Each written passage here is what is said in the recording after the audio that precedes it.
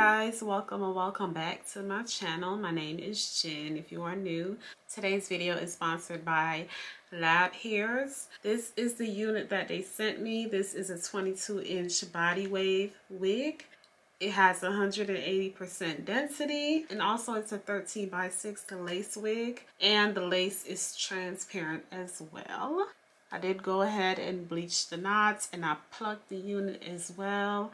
I haven't put any foundation on it. I'm going to see if I can do it without the foundation um, and see how it works out. I'm going to try my best not to manipulate the curls. I'm going to try to keep this pattern right here and see how it looks because it's very pretty. Like, like I said, I did bleach the knots so I did wash the unit and this is the curls. It came right back.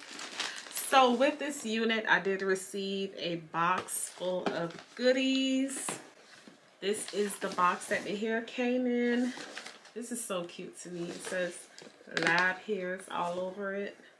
Secret of Beauty. Lab hairs. Looks like kind of like a shoebox, right? Um,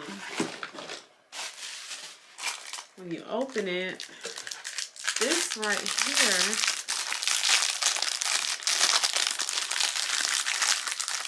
this is a brush. Oh yeah, this is cute. Look at that. And it has a mirror. And then it's a brush on the inside. That is so cute. so cute. That's creative too. I've never seen, never seen something like this. Then I got a wig cap, of course. An edge brush. And I got this on the end. I'm gonna start using this right now. Okay.